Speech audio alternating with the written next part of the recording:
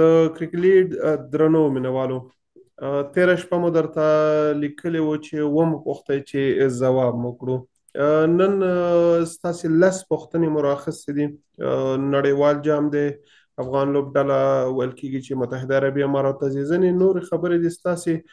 زیاتره پوښتنې د لوبو اړوند دي ځینې مسلکي پوښتنې دي په هغې اړه باندې د کرکټ د چارو د شنونکي افتخار احمد سمسور نظر اورو سمسور صاحب ستړي مشه خبرونه ته مننه نصرت صاحب تاسو ته سلام ټولو لیدونکو ته سلام سمسور صاحب لومړی پوښتنه د رحمت الله مینی راخلو وی وای چې ولی تل د افغانستان لوبډله په وروستي اور کې ګټلې لوبه له لاسه ورکوي د پاس بالر ناکامي وي او کنه د کپتان ناکامه مشوره تر ډیره پورې دغه مسله په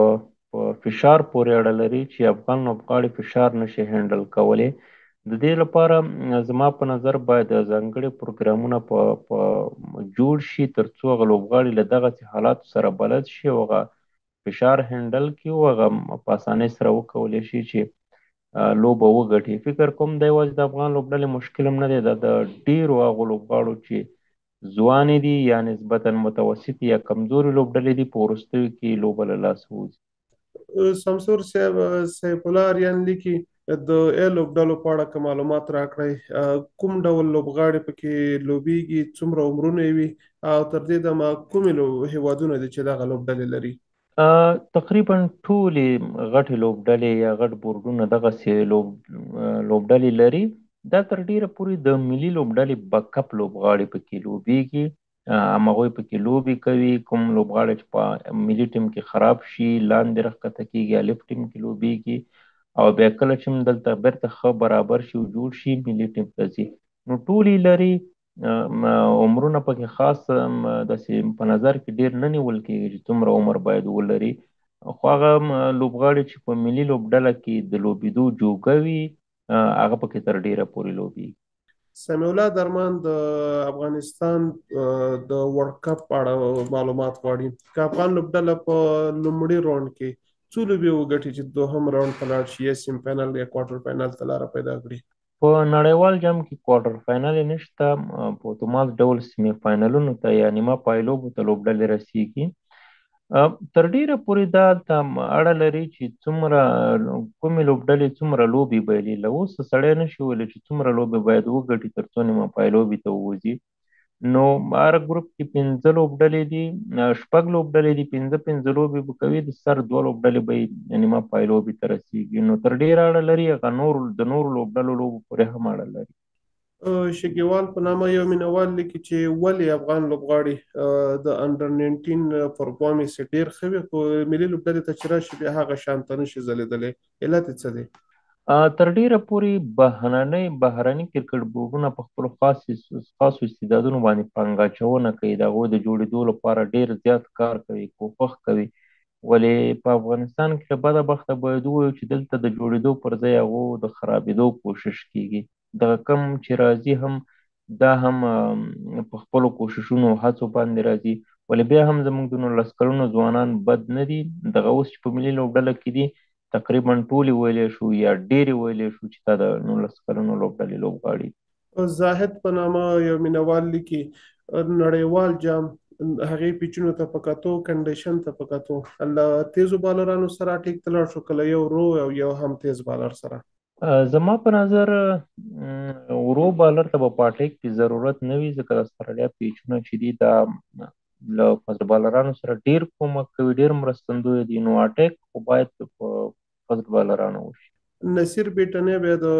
افغان کمنټیټرانو په اړه خبرې کوي وایي چې ولې په غټو ایونټونو یا په غټ سټیج باندې افغان لوبډلې لپاره کوم افغان کمنټیټر نه وي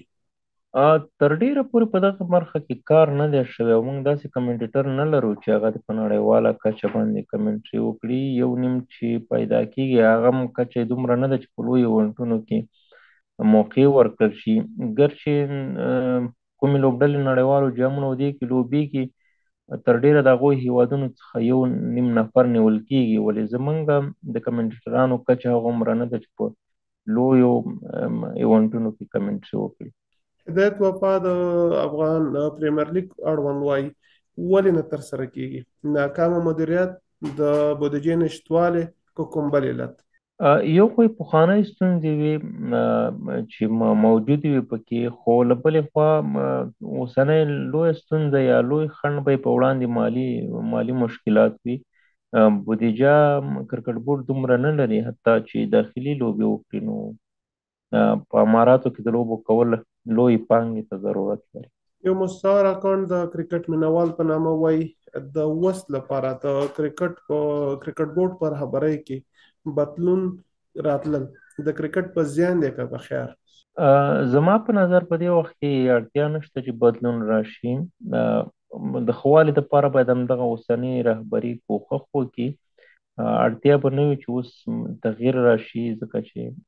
لوړاندې لګړو مشکلات سره مخ یو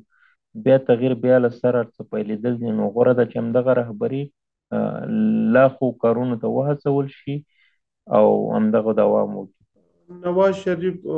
وايي که درویش احیانا په نړیوال جام لومړیو لوبو کې ښه کارکردګي ونه کړي، ځیناستی څوک دی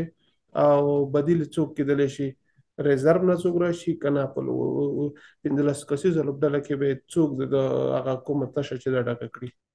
له ریزرو په راتګ هغه وخت ممکن دی نصرت صاحب چې کله یو لوبغاړي ته یوه ستونزه پیدا کېږي او نورې لوبې نه شي کولی نو بغیر له هغې نه له ریزرو په احتیاطي لوبغاړو لوبغاړي نه راوستل کېږي بله خبره دا ده چې درویش ځوان دی د هېواد آینده ده په څو لوبو کې کار ښه کارکردګي ونه هم کړي بیا دې هم مسلسل چانس ورکول ورکول شي بل نړیوال جام دی پرته له شکه چې